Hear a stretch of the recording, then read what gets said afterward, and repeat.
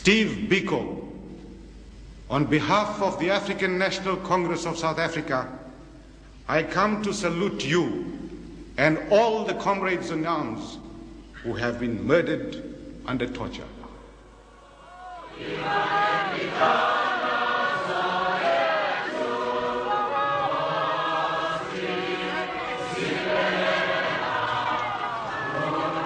Sunday, September the 25th, 20,000 black South Africans came to mourn Steve Biko, the non-violent but militant black radical leader who died mysteriously in police custody.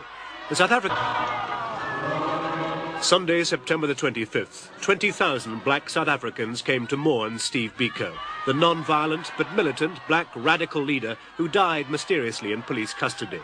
The South African government announced that Biko had died after a week-long hunger strike. Biko, who was in good health, was the 20th man to die in police custody since the June riots last year. The announcement was greeted internationally with shock and anger.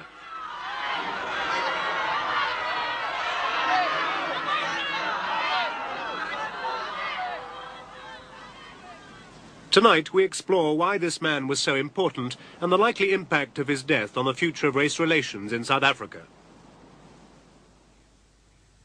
Donald Woods is the editor of a leading South African newspaper and was a close friend of Steve Biko. Well, he was the special hero of the young black South African political activists. He articulated their philosophy for them. He was the founder of four movements which had a special bearing on their problems. And he was the you might say, the spiritual head of them all and the advisor and guide of these movements. So he occupied a very special place. At the age of 30, he was just young enough to be acknowledged as the leader of the youth and just mature enough to be able to do so wisely. The Minister of Justice, James Kruger, the man ultimately responsible for the treatment of detainees, told a Nationalist Party conference that Biko's death left him cold. He also joked openly about it. But faced with an international outcry, he withdrew his earlier statement that Biko died in a hunger strike. If you look at all the reasons given down the years for the deaths of detainees, no reasonable person would believe most of them. Secondly, in Steve's case, I knew he would never harm himself physically in there. He had given me to understand quite plainly that if he was detained and he died in detention, and it was alleged that he had done anything which brought about his death, such as um, hanging, you know, this is the one often given out, um, cutting himself, something, or suffocating himself, pillow, anything like that, or starvation. Um, then I, I would know it wasn't true. The inquest has yet to be held. In Washington, we spoke to an American senator who'd recently met Biko. He's the chairman of the Senate Subcommittee on Africa, Dick Clark. I think it's uh, not clear what uh, Steve Biko's death will uh, have, or what kind of influence it might have on American policy. Certainly it's going to, I think, cause most Americans, uh, both in government and out, to be more and more reluctant to uh, have a relationship with South Africa. I've always felt that Prime Minister Vorster was right in saying that the United States couldn't meddle in South African policy, but I think we ought to meddle in our own. And that's what we're talking about. Should we continue investments and loans and other kinds of relationships with a government that participates in this kind of activity? Should we be supporting apartheid? That'll really be the question I think that we'll have to answer in this country. I think we come closer and closer after events of this kind to saying that we're ready to wash our hands of that. And if uh, Mr. Vorster and uh, the South African government want to uh, operate in this way, they're going to have to do it in a very isolated world as far as we're concerned. And Andrew Young, America's black ambassador to the United Nations, said when he heard the news, No nation can afford to lose its most dedicated and creative leadership and yet prosper. I know personally how much the United States suffered nationally as a result of the similarly tragic deaths of President John F. Kennedy, Martin Luther King, and Senator Robert F. Kennedy. Certainly a future non-racial South Africa will mourn the loss of a dedicated native son Mr. Biko. Few people in Britain had ever heard of Steve Biko before his death, but one man who knew him well was Sir Robert Birley, the former headmaster of Eton. Yes, I was out in South Africa, I think it was in 1970. Uh, I'd been asked by the, st the students at the English University at Durban to give a lecture on academic freedom, and after it, two of them took me along to the students, the, the African students' hostel for the medical school. And um, I had never heard of him before that, and I, do, I don't suppose many people had at that time. And the um, and I, I found him one of the most interesting young men I've ever met in my life, straight away, and uh, had an, an, astonishing conversation with him, which um, at once convinced me that here was somebody who was going to mean something. He said to me, mind you, there's got to be a white contribution too. We're not the only people in this country. And I thought when I heard that, I thought, now that's one of the most encouraging remarks I've heard. And I must say, it didn't surprise me altogether to find that it came from an African. The announcement of Biko's death led to memorial services throughout South Africa. In London, there was one at St Paul's Cathedral, attended by, among others, Foreign Secretary Dr. David Owen.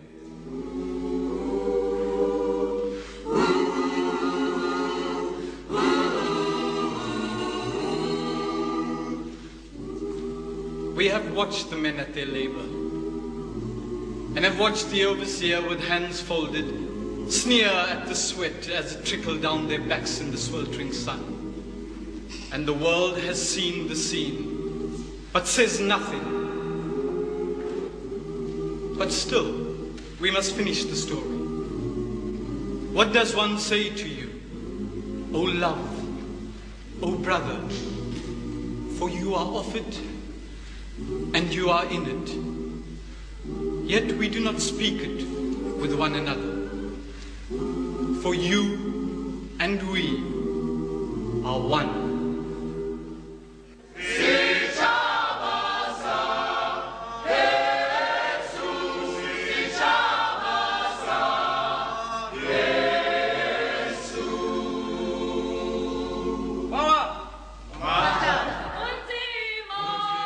To understand why Steve Biko could inspire such powerful tributes, we went to South Africa, to his birthplace, a small town in the Eastern Cape called King Williamstown. He was banned here in 1973 because of his political activities. This meant he couldn't take part in public life or meet more than one person at a time, and he was forbidden to travel. King Williamstown is a typical segregated provincial South African town. The whites live comfortably in pleasant suburban streets, the blacks live outside it in shanty towns. The blacks have no civil rights. In this unlikely setting, Steve Biko turned King Williamstown into a centre for black radicalism, demanding equal rights for blacks and preparing the way for a multiracial society, breaking the apartheid system. A close friend and political associate of Steve Biko was Malusi Mpumlwana. He had a way of, you know, of, of appealing to people on a social basis. You know, his first striking thing about him is that he, he is a very friendly person and a person that is always ready. He was quite selfless, you know, the person that is always ready to go out of his way to assist the next man. And uh, to a point where, you know, even in the township here where he stayed at Ginsberg, he was not a lawyer, but everybody that had a problem of whatever nature, they would go to his home, you know, just to consult him uh, you know, it became so much that it was sometimes very difficult for him to do any other work during weekends, but just to sit and listen to people's problems. I would say the time that he, you know, he spent with people led him to setting up all these projects that one sees around Steve. And uh, they led to a greater conviction on his part that there was a need, a greater need for blacks to really pull up their socks, you know, to, to begin to do things themselves. Biko was undaunted by the apparently insuperable obstacles of the apartheid system. As a medical student, he formed the first black South African Students' Union. Then, forced to give up his studies and confined to his hometown, he started a trust fund for the families of political prisoners and a fund to help young blacks get education.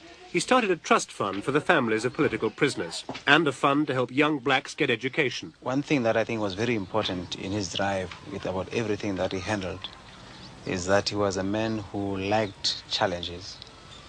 Uh, he would take on any challenge, anything that one would see as perhaps too difficult or perhaps uh, you know much more advanced than can be expected uh, of his capability. That's the one thing that he'd want to take on just to prove that he can make it. This clinic just outside King Williamstown is a monument to Biko's work. As a would-be doctor, he knew about the need for health care, but he also saw the clinic, which he created, as a practical way of developing self-reliance. The clinic has been open for two years. Despite its success, the government eventually banned Biko from having anything to do with it.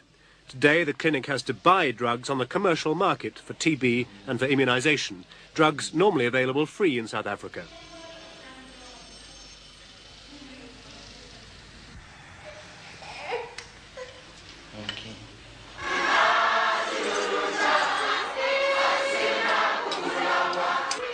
Nowhere was Biko's influence more felt than in the new movement of black consciousness, or the pride in being black.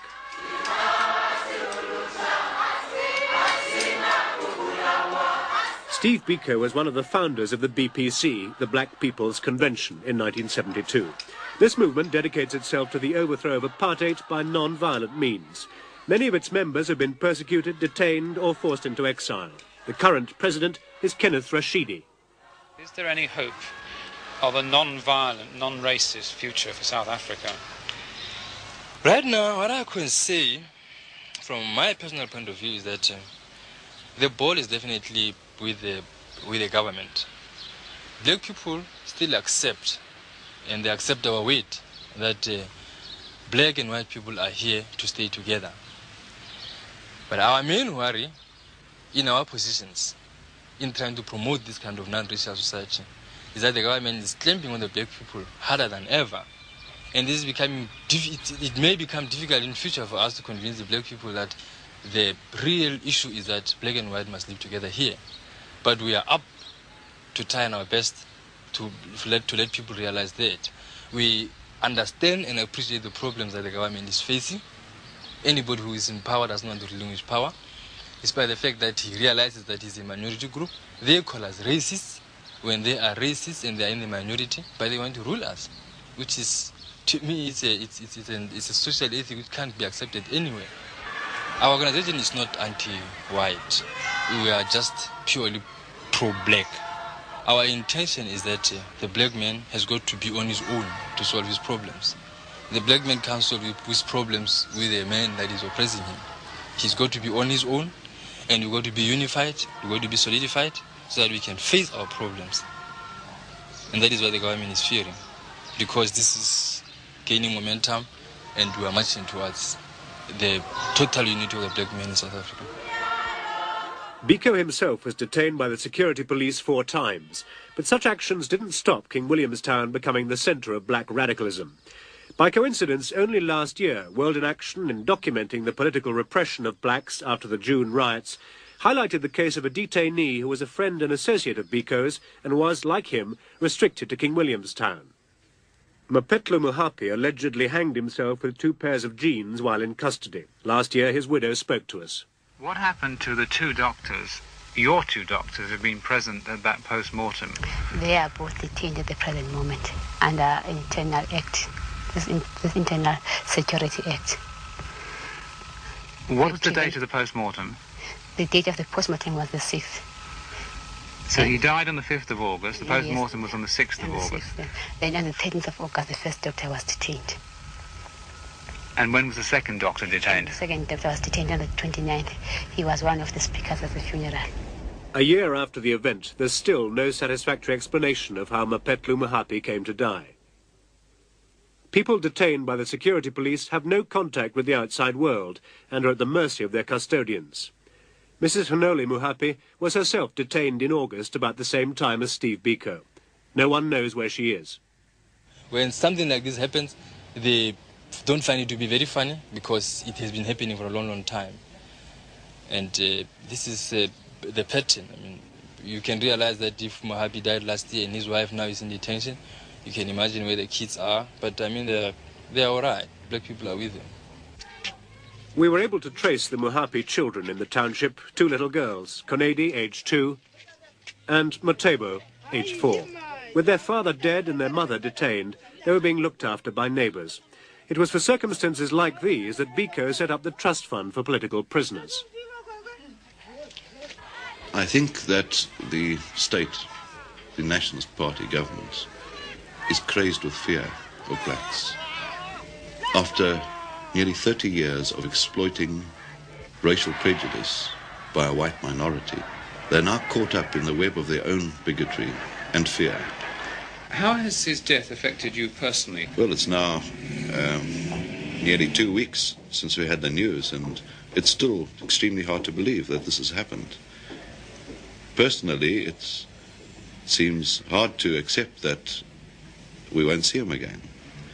And frankly, I don't know when all the activity of trying to find out who's responsible for it is over, when the inquest is over, and such prosecutions as follow, according to what's indicated by the inquest, I frankly don't know how my wife and I are going to adjust after that. At the moment, we kept very busy with involvement in this process.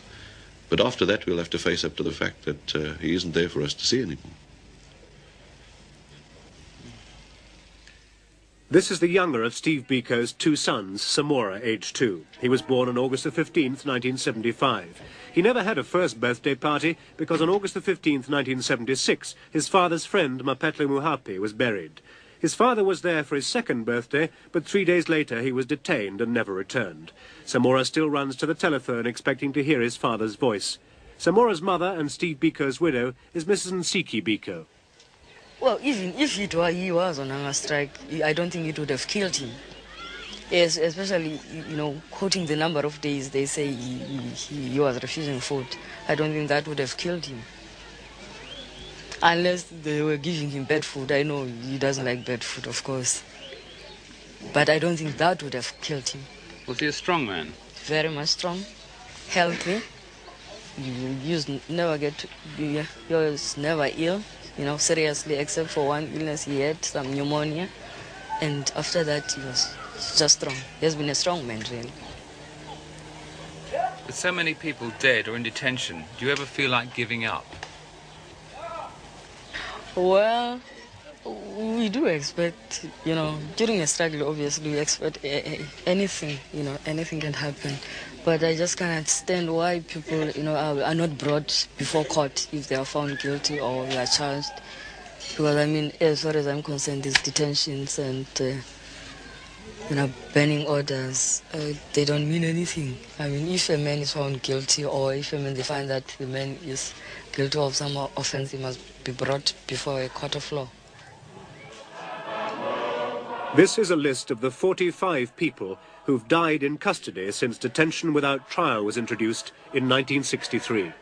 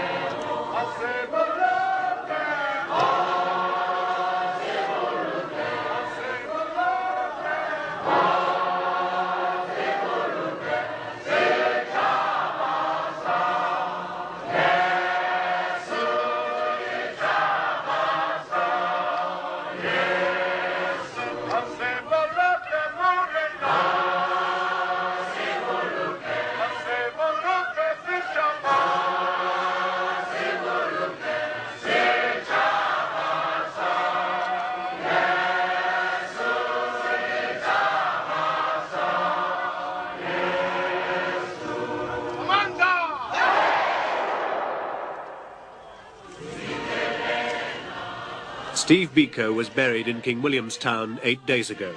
Although 20,000 mourners turned up from all over South Africa, many more were unable to get there because of harassment by the security police.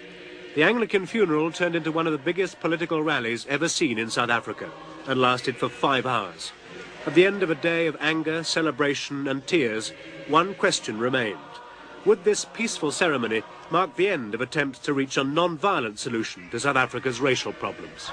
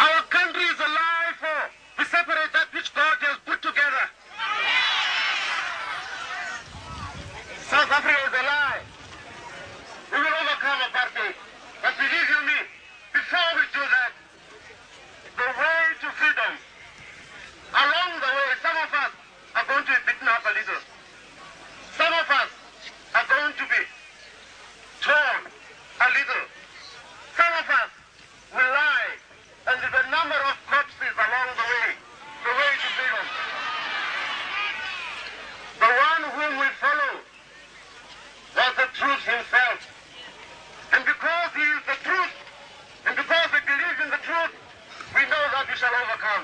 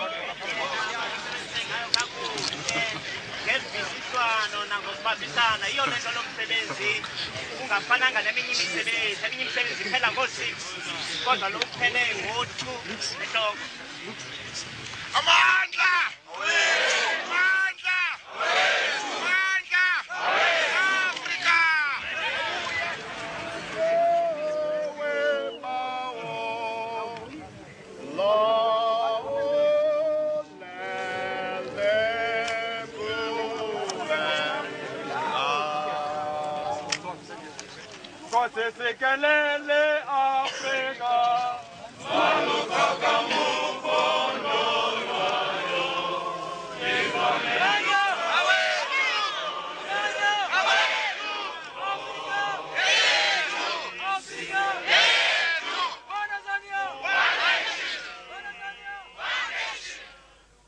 I wish to bring you the words of the man who has been murdered and tell me this man was a terrorist or a man of peace or a man of truth. Steve Biko said, No race possesses the monopoly of beauty, intelligence, force, and there is room for all of us at the rendezvous of victory.